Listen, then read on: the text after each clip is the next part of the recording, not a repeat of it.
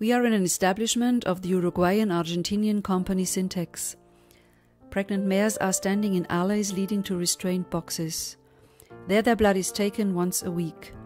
A business worth millions, operated for 30 years by a selected few. The production of the hormone pregnant mare serum gonadotropin, short PMSG.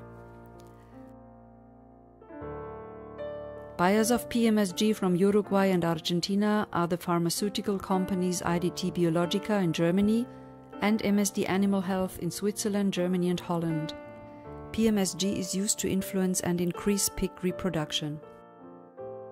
One method that has been used successfully over several decades to stimulate and synchronize estrus is the administration of a PMSG preparation to the sows concerned in order to start their cycle 24 hours after separation from the piglets.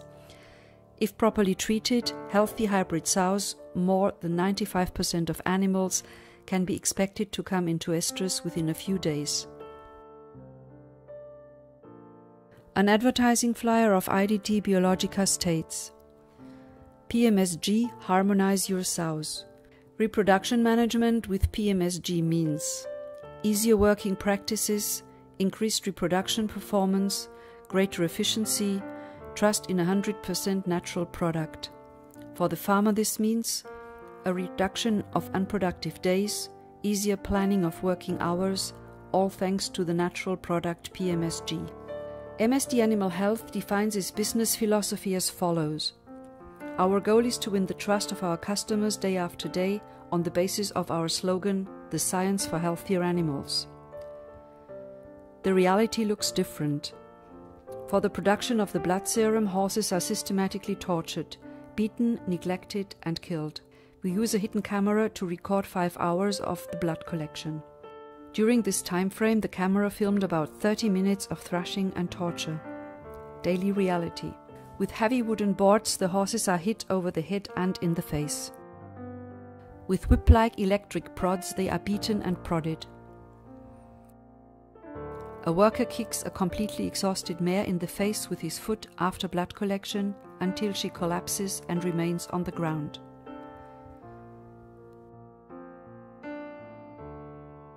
Here, a worker latches out in pure aggression. Even when exiting the blood drawing stall, the horses are mistreated. Mares which do not get pregnant anymore but survived the years of blood extraction are turned into profit one last time by selling them to one of the EU certified slaughterhouses. Their meat then ends up on European plates. Their foals are usually never born. They die inside their mothers due to the repeated blood extraction or abortion. The Tierschutzbund Zürich and the Animal Welfare Foundation traced the blood business and investigated in Uruguay and Argentina.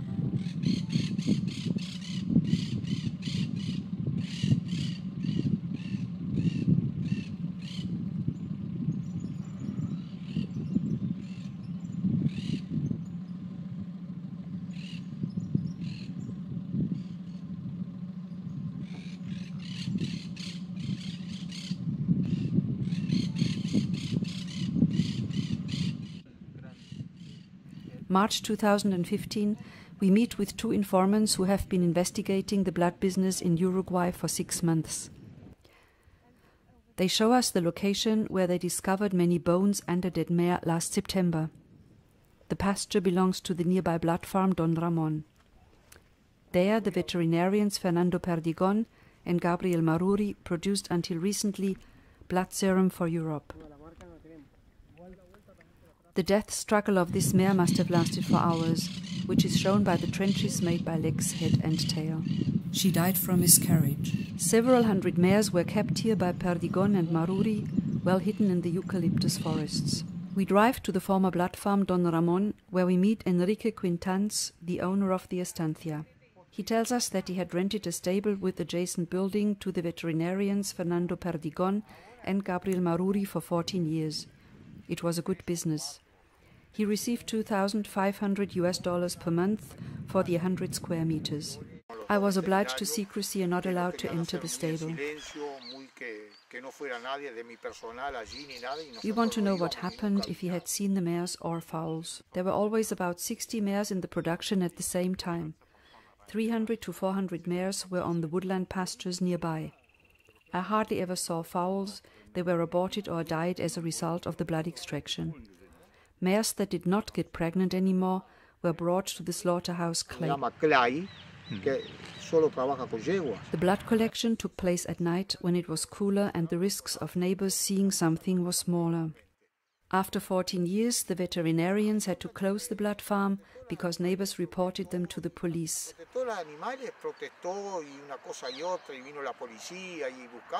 They had discovered dying mares on the farm and in the forests. The land is owned by a European lumber company. They terminated the lease contract because they did not want to let their lumber business be soiled by the blood business. Enrique Quintans tells us that Fernando Perdigon has moved to a more remote area, about 40 minutes away, where he continues to produce PMSG without disturbance. It is important to him to stress that the blood was always taken at night probably because of the colder temperatures, but also to avoid being discovered. Enrique Quintans is currently renovating the stable. During the first visit in September 2014, traces of the blood business could still be found all over. We want to obtain more information from the person who runs the blood farm, Fernando Perdigon. Why is blood taken from the horses? This is done to extract hormones, which normally flow in the blood of pregnant mares and which are used to improve livestock breeding.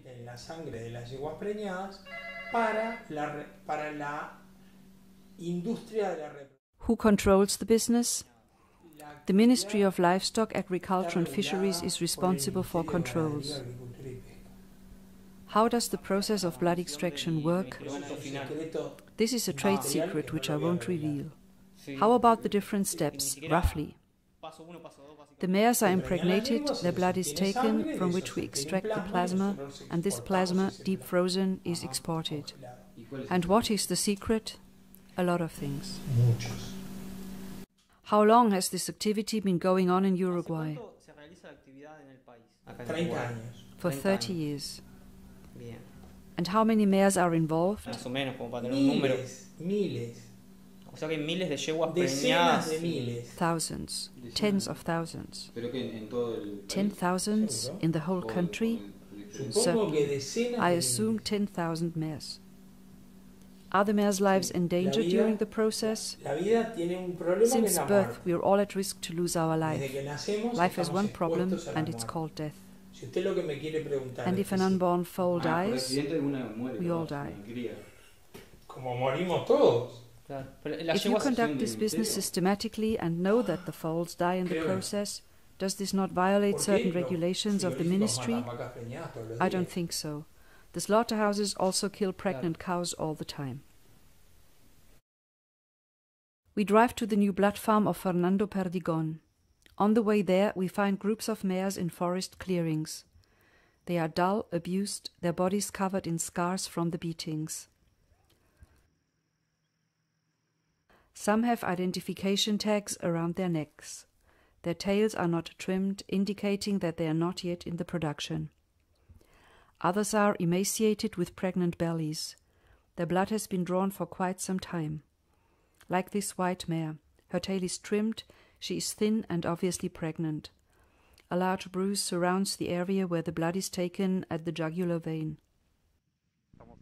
In front of the blood farm of Perdigon, we meet Enrique Riveron, Perdigon's foreman. He is not allowed to give us any information. We would have to talk directly with his boss. Nevertheless, he reveals that they currently have 200 mares on the farm. We continue to the Estancia La Paloma of PMSG producer Roberto Milos. His foreman does not introduce himself, and he also does not have permission to give us any information. We want to know how many mares there are on the blood farm. He claims 80 to 90. Just along the access road to the Estancia, we have seen about 200.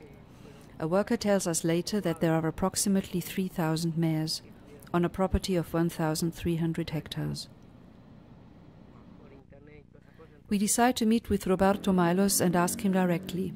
On the phone, he refuses to be interviewed for personal reasons. The reason that the blood business has gone undetected so far is, beside the obvious secrecy, the fact that horses as well as farms are well hidden in the vast countryside. We spend hours and days looking for the locations. We want to visit the blood farm Loma Azul, one of the farms of the probably largest blood producer, Syntex Uruguay.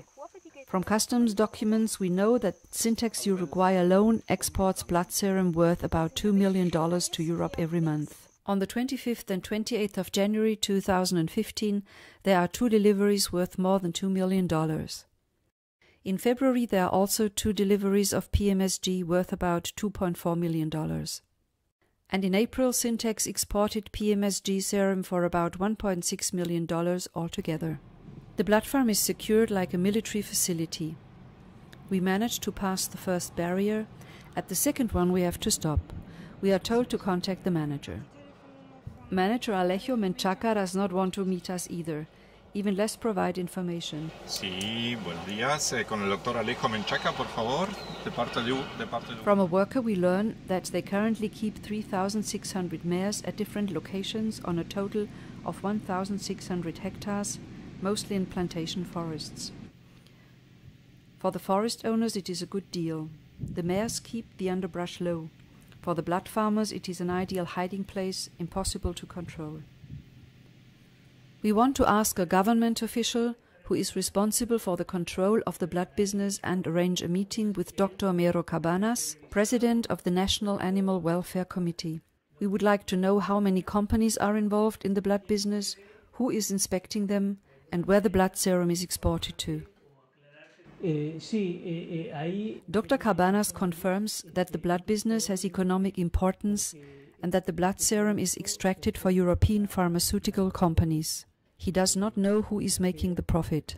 The inspections should be carried out by the Ministry of Livestock, Agriculture and Fisheries, as the blood products are all exported.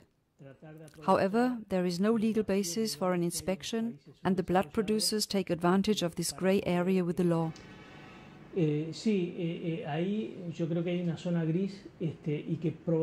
eh, porque est- este producto se exporta. Uruguay is of interest for the importing countries because there are no laws or official controls. We asked Dr. Cabanas, as a veterinarian, what consequences a frequent blood extraction could have for the mares. Pueden generar este, condiciones de anemia o pueden llegar incluso en, en- en situaciones de estrés. They gradually become anemic, suffer from stress, their immune system is weakened, and the number of miscarriages increases. The blood extraction continues until the mares do not get pregnant anymore. They are then sent to the slaughterhouse. Dr. Cabanas puts us in contact with the Ministry of Livestock, Agriculture and Fisheries. We meet with Professor Dr. Ricardo Sienra, Director of the Technical Group for Animal Welfare, and Jorge Armstrong, Deputy Director of the Animal Industry Division. We repeat our question, but Professor Sienra also can tell us how many companies and farms are involved in the blood business. The blood serum is exported to Europe, to the EU, but he cannot name any countries. The inspection of this activity would be the responsibility of the Animal Health Division. However, there are no animal welfare laws relating to the production of PMSG. Uruguay would refer to international guidelines. We ask which international guidelines he is referring to. Professor Sienra and Dr. Armstrong point out the guidelines of the OIE and the European Authority for Consumer Protection SANCO, which regularly carries out inspections. However, they explain that during these audits, the blood production was never an issue, only the meat production. We continue to ask questions, and Dr. Sienra admits that he has no knowledge of national or international regulations he could apply. porque nos falta también la legislación y requerimientos del He asks us, should we know any, to pass them on to him. He assumes that the importing countries have chosen Uruguay to produce the blood serum because the animal welfare requirements in their own country would not allow this production.